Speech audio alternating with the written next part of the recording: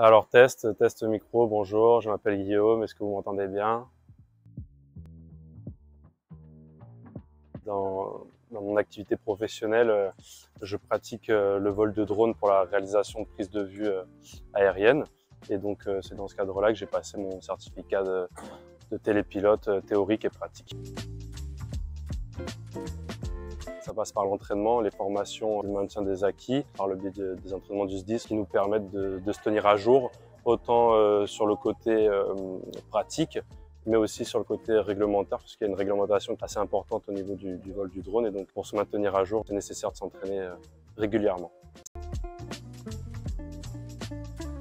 C'est très strict, notamment chez nous dans les Alpes-Maritimes, on a une zone d'affluence importante au niveau des vols avec l'aéroport de Nice et l'aéroport de Mandelieu et, pas mal de vols d'hélicoptères également. Donc c'est pour ça qu'on doit vraiment faire attention à respecter cette réglementation.